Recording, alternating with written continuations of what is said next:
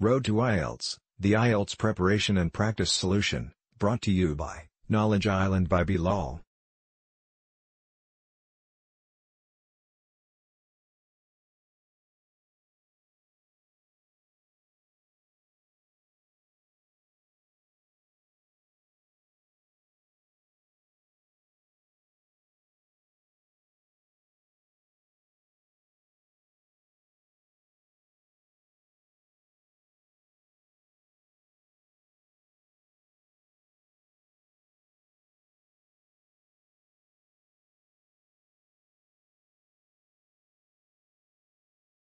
Please change the volume using the bar in the top right corner.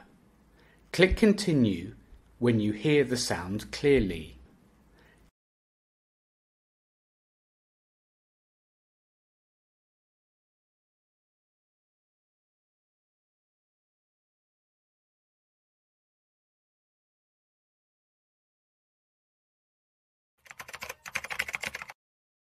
Before we continue, please subscribe to our channel, and press the bell icon to get more updates.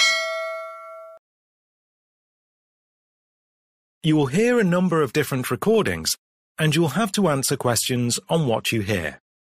There will be time for you to read the instructions and questions, and you will have a chance to check your work.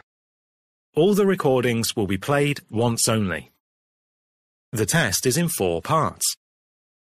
Now turn to part 1. Part 1. You will hear a telephone conversation between a person who is inquiring about a job and an employee of a company. First, you have some time to look at questions 1 to 4.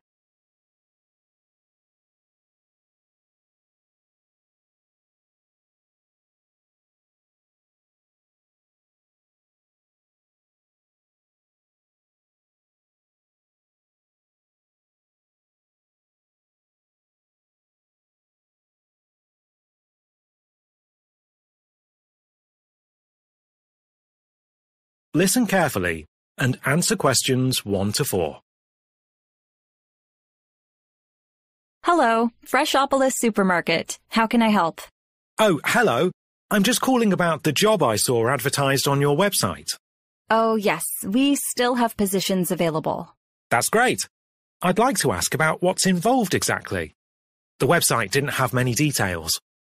No, we use the same general advert for all the jobs here at Freshopolis. So, what would you like to know?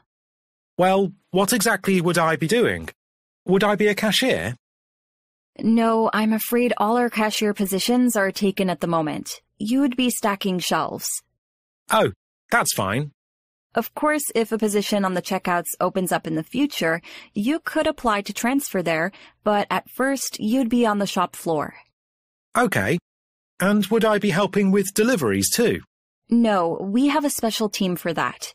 There are a lot of health and safety rules. Right. And this is a part-time position, yeah?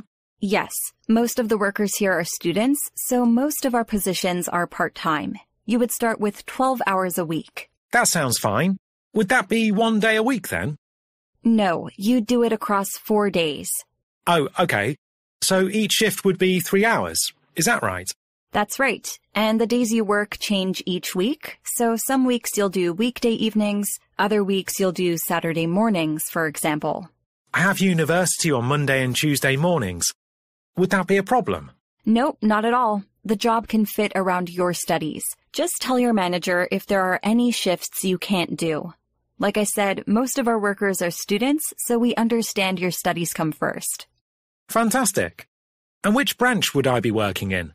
The town centre one? No, we have no vacancies there. We're looking for staff for the branch on Geranium Road. I'm not sure I know that street. How do you spell it? G E R A N I U M Road. Got it. Uh, wait, is that the road with Worldview Cinema on it? Yes, that's right. In fact, the branch is just opposite the cinema. Oh, I do know it then. It's actually quite close to me. Could I ask about the wages? Of course, your starting rate will be £10.30 an hour. That's pretty good. I know Cost Drop supermarkets only pay £8.80 per hour. Yes, we try to offer a competitive rate to attract the best workers. We also increase your rate if you're working on a Sunday or a public holiday. It goes up to £11.95. That's great. Before you hear the rest of the conversation, you will have some time to look at questions 5 to 10.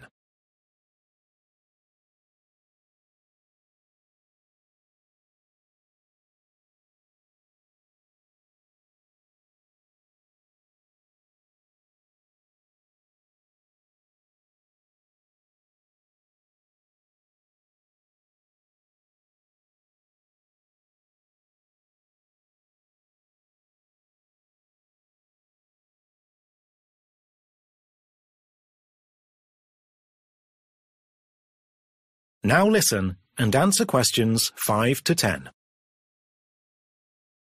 We like to think so. We also offer a few other benefits for all our staff members too. For example, with your staff discount, you'll get 20% off anything you buy from our store. That's good. And if you ever work a double shift, you'll be given a free meal, either lunch or dinner, depending on the time of your shift. Wonderful. Do I just choose free food from the supermarket shelves? No, it'll be in our staff canteen, so it'll be freshly cooked. And hot. That all sounds really good.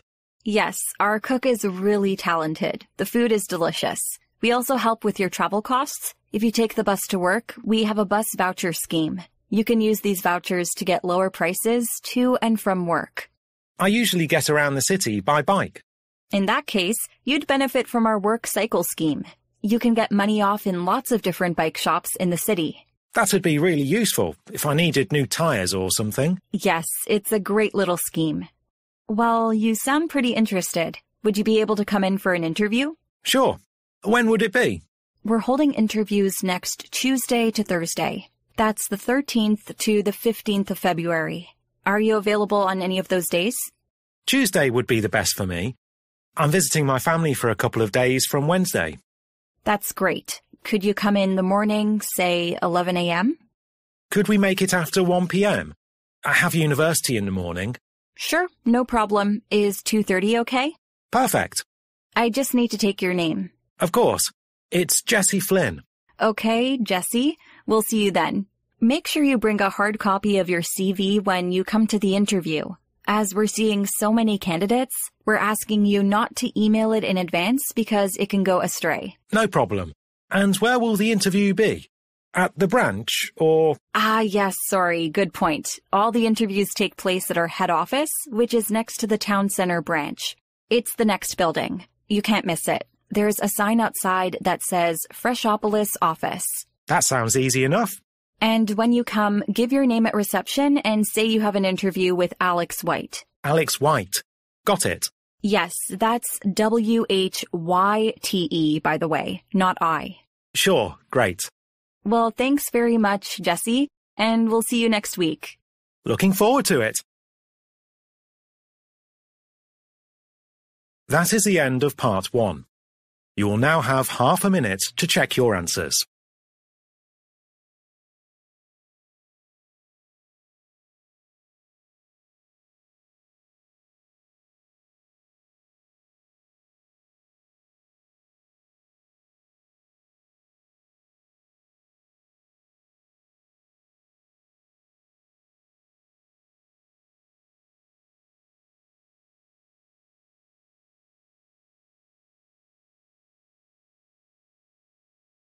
Part 2. You will hear an information announcement on a ferry. First, you have some time to look at questions 11 to 16.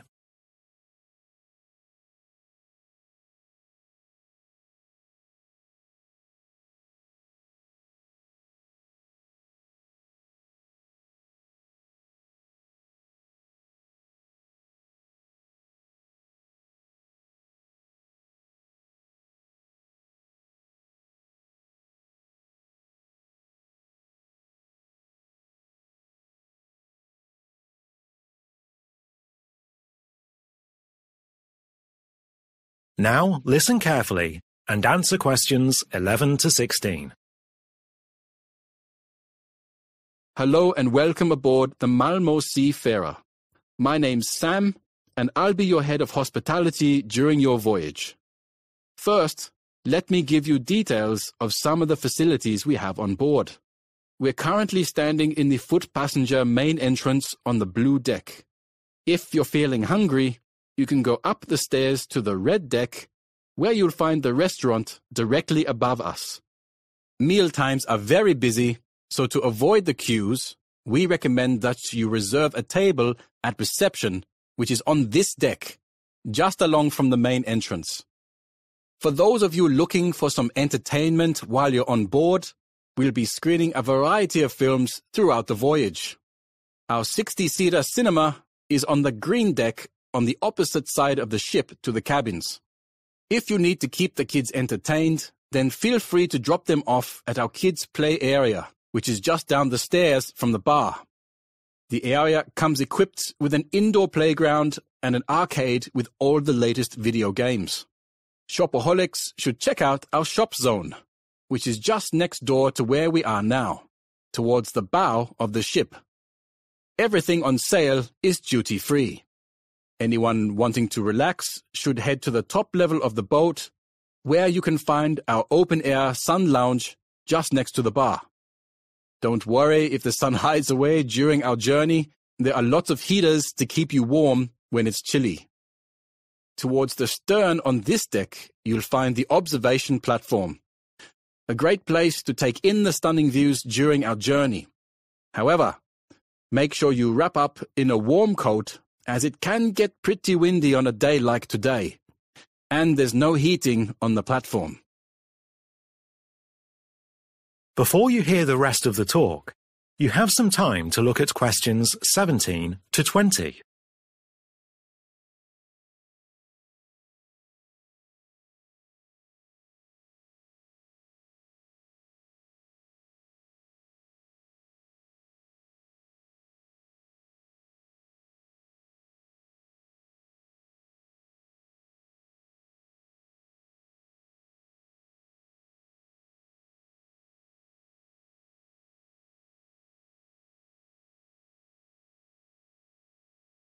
Now listen and answer questions 17 to 20.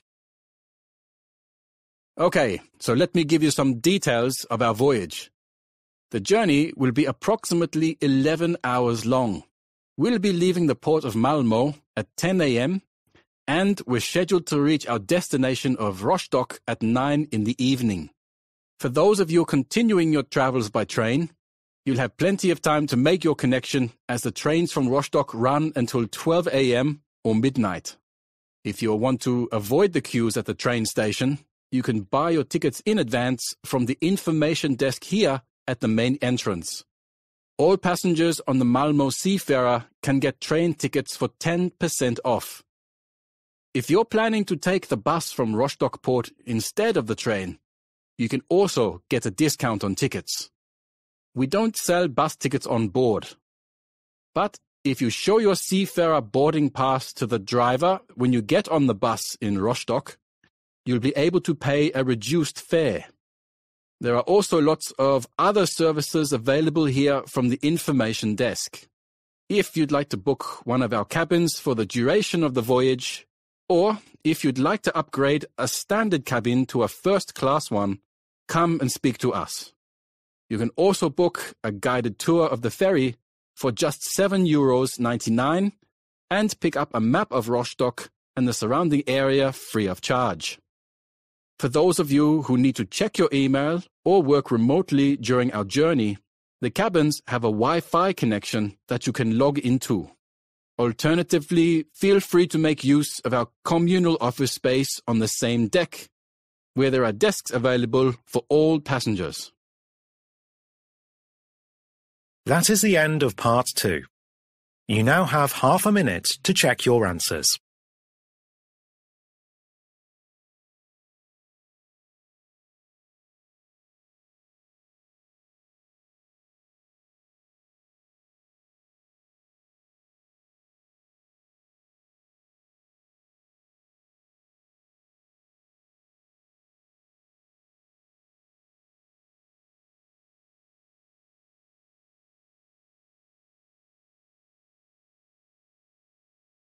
Part 3. You will hear a conversation between two university students about an upcoming presentation on private space travel. First, you have some time to look at questions 21 to 25.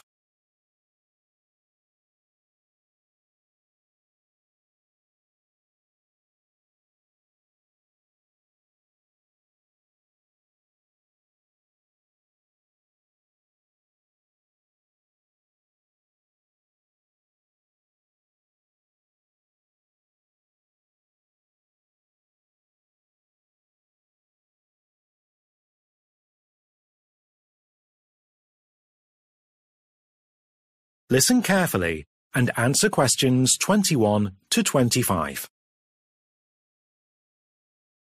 Right, so we really need to start planning our presentation on private space travel. It's in two weeks. I know. The time's really flown by. How did you find researching the topic? A lot more difficult than I was expecting. How about you? Yeah, me too, to be honest. But I watched a show online the other week that was actually really informative. I saw that. It was good, wasn't it? It had some interesting background information, but I'm not sure we can use that much in the actual presentation. Yeah, you're right. What did you find helpful for your research? Did you find any good books? Well, the most useful thing for me was that time we went to speak to that engineer from A-Space. I must have listened to that recording of our conversation about a dozen times. That was great, wasn't it? When I started doing the research, I tried to use my notes from Dr. Waltz's lessons to put a plan together, but then I realised he mostly talked about state-run spaceflight, not private. So they didn't really help me that much. Me neither. Something I found pretty tough was condensing what I'd found out. I mean, there's such a wealth of information out there if you look for it, but paring it down was pretty tricky. I know what you mean. It was good that we had a really clear focus from the start. I think that really helped, but yeah, there's so much information to wade through. What did you make of Cosmos Dollars by Professor Andrea Wilmington? That's the book Dr. Waltz recommended, isn't it? Personally, I didn't like it at all. Really? Do you mean the way it's written? It's very conversational. No, I didn't mind that. I just felt it was all a bit superficial, you know? It didn't look past the surface level of the topic. I think you're right. I also felt her research projects were too general. I didn't really feel like I learned that much from them at all. Hmm. Anyway, I feel like I've got enough for us to get started now. What about you? Same. So how should we do this presentation then? The usual way with slides and pictures? I think we should do something a little different. First, I think we should start with a video. I have a clip from that online show we could use. That sounds great. And after we've begun the presentation with that, I think we should just deliver it to the class without slides or anything. Do you think that's a good idea? People like to have something to look at during a presentation. I know what you mean, but I think this way, the audience can just concentrate on us and what we're saying, rather than simply reading whatever's on the slides. I see where you're coming from. Perhaps to make them really focus on us, we could tell them not to make notes. We could give them a piece of paper with the key facts and our bibliography on at the end. But for the duration of our presentation, just keep the focus on us. Exactly. I think that's a great idea. It'll definitely be different from the other students. I'm sure they'll remember ours. I hope so. But I think the best thing about doing it this way is that we can connect to everyone in the audience. Yes, that's key. We want everyone to be able to follow it and get something out of it. Definitely. We can still get deep into the topic, but I think we should try to make it feel like a conversation with a friend. I think that's a really good idea. Well, that's that agreed then. Before you hear the rest of the conversation, you have some time to look at questions 26 to 30.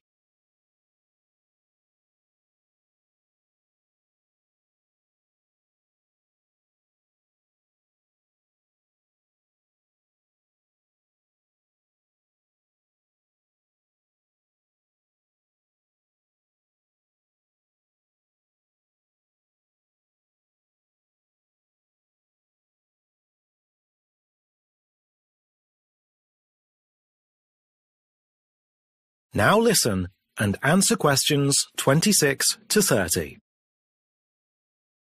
I think it makes sense to begin our presentation chronologically, don't you? Give the history? Sure. So I guess we'd be starting in the 1950s?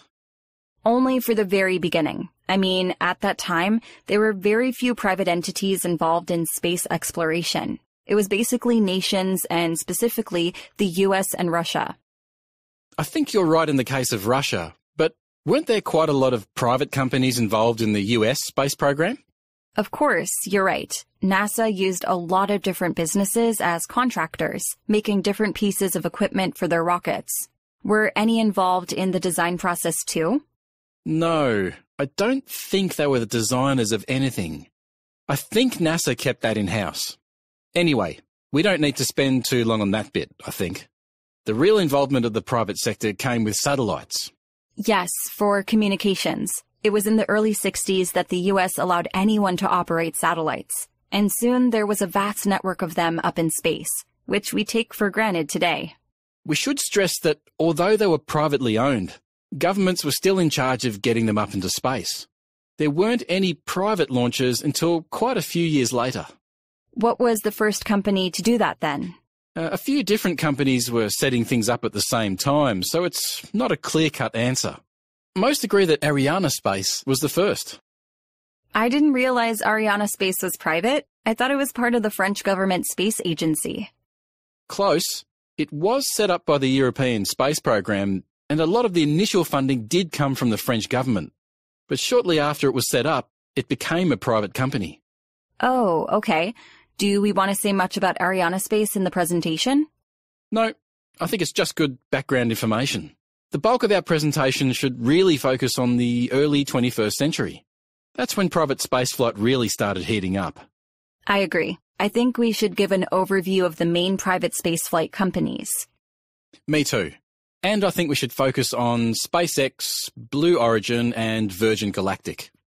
I think they show different sides of private spaceflight, but have some commonalities that mean we can link from one to the other.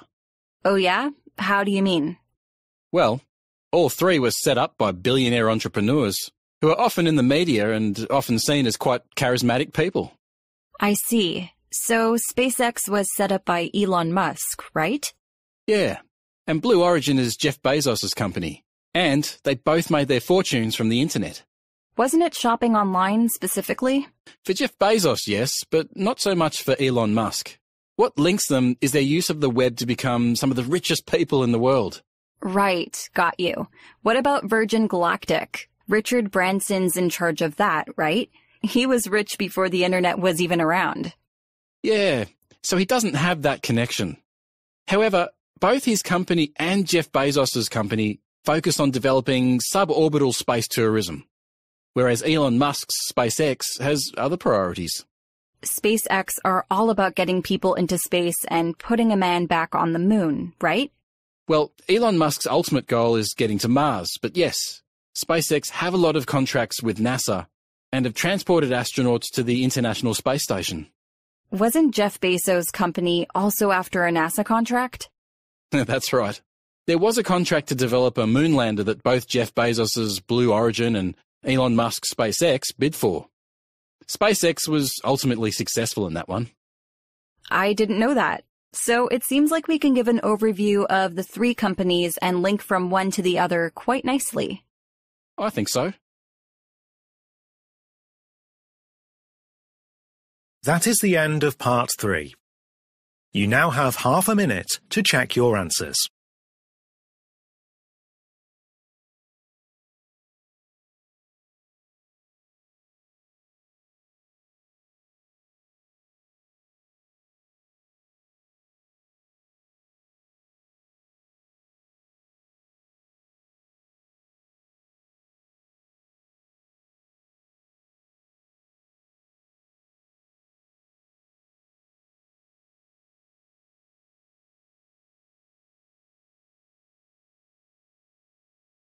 Part 4 You will hear a lecture about nuclear power. First, you have some time to look at questions 31 to 40.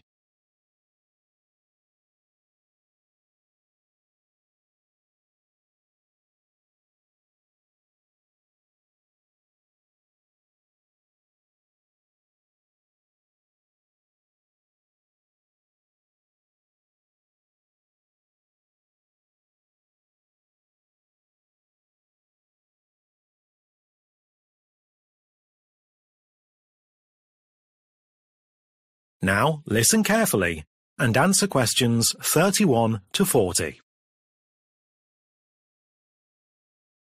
Welcome, everybody. Now, in our last lecture, we covered the basics of nuclear fission. So, today, we will look at how that is achieved in nuclear power plants and discuss some of the benefits and risks associated with nuclear power. In a fission reactor, nuclear fuel reacts and causes nuclear fission. The fuel will be a uranium or plutonium isotope and is held in rods. Neutrons fly out of these rods and cause nuclear fission in other rods. Between the nuclear fuel rods, there are a series of control rods. These can be lowered to stop neutrons traveling between the fuel rods. By raising or lowering the control rods, you control the speed of the reaction. As I'm sure you all know, controlling the reaction is key. A fission reactor that is not controlled is essentially an atomic bomb. The fuel rods sit in a moderator. This may be a core of graphite. The purpose of the moderator is to slow the neutrons down, which increases the chance of them being absorbed by a nearby fuel rod and causing nuclear fission. At the bottom of the reactor, low temperature coolant enters the reactor. The energy from the fission reactions in the fuel rods heats up the coolant, which exits the reactor at the top. The heated coolant is then used to boil water, which drives turbines in the power station and generates electricity. The byproducts of fission reaction give off significant amounts of radiation and are extremely hazardous. To mitigate this, the reactor is encased in concrete, a material widely used for radiation shielding. So, let's move on to looking at the pros and cons of using nuclear fission to produce electricity. We're going to begin with the cons, as most people are much more familiar with those than with the pros. And that, in itself, is the first drawback of nuclear power. It has far from a stellar reputation. The majority of people hold an extremely negative view of nuclear power, rightly or wrongly, so building a nuclear power plant will always meet with fierce resistance. On top of all the other complexities of setting up a nuclear power plant, one has to deal with the populace that does not want it built at all, or at least nowhere near them. You don't need to be a rocket scientist, or, indeed, a nuclear scientist, to understand where this feeling comes from. Nuclear accidents. Nuclear accidents can utterly devastate the surrounding area. Radiation is lethal, can be far-reaching, and unimaginably long-lasting. Perhaps the most famous nuclear accident was the meltdown at Chernobyl. Now, that happened in 1986. Any ideas when the area around the power plant will be safe again? I'll tell you. In the year 21986. For 20,000 years, that area will be uninhabitable. Can you imagine? And the death toll for Chernobyl is estimated at around 1 million. So, these accidents are absolutely catastrophic. But radiation isn't only caused by accidents. All nuclear power plants produce nuclear waste, which gives off lethal radiation. This waste often remains deadly for 200,000 years. Managing this waste is expensive, and humanity has yet to come up with a method of disposal that is safe for this length of time. Speaking of costs, just building a nuclear power station is extremely expensive, much more so than other types of power station. And once a power station has come to the end of its life, you can't just knock it down, as you would other buildings. The station must go through a process of decommissioning in order to make it safe. This is also extremely costly. Another criticism levelled at nuclear power is its inability to adjust to changing power demands. A nuclear power station can produce a steady amount of power, but should there be a surge in demand, it is slow to meet that increase. There are many more disadvantages to using nuclear power, of course, but I think those are enough for now. And make no mistake, each one of these are serious issues. So why would anyone in their right mind support nuclear power with such significant drawbacks? The answer may surprise you. Nuclear power is green. Yes, that's right. Providing no accidents occur and the waste is well managed, nuclear power is environmentally friendly. Generating electricity from nuclear fission produces no pollution and doesn't contribute to global warming. What's more, because nuclear fission requires very little fuel, there are far fewer mines destroying the environment for raw materials, and far fewer polluting trucks on the roads transporting it. This also makes the fuel cheap, another benefit of nuclear power. And, although, as I mentioned before, the cost of building power stations are high, the plants themselves last a very long time, longer than other types of power stations, and are relatively cheap to operate during that time. The final benefit I'd like to talk about is how nuclear power stations impact other scientific areas. Nuclear power plants are at the cutting edge of scientific research and are replete with the latest technology. The breakthroughs made in developing nuclear power stations don't only benefit the nuclear industry. This technology often ends up helping a surprising number of disparate industries. So, do the benefits outweigh the drawbacks? Well, that's for you to decide in your essay. That is the end of part four. You now have half a minute to check your answers.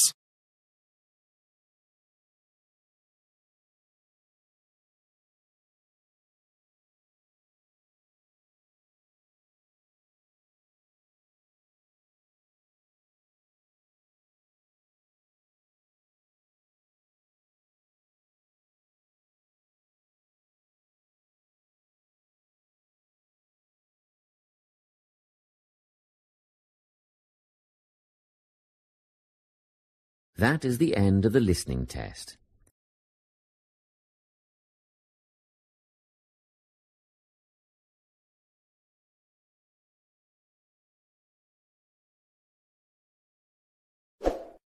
Don't forget to comment, like, and share our video.